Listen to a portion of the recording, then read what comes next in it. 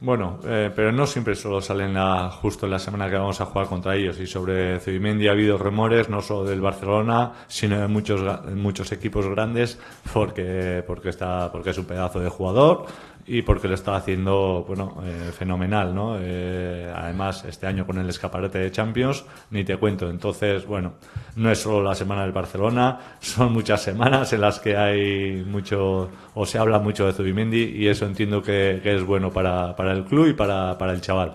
Y no tengo ninguna duda el chico quiere estar en la Real Sociedad y seguramente eh, el año que viene estará aquí con nosotros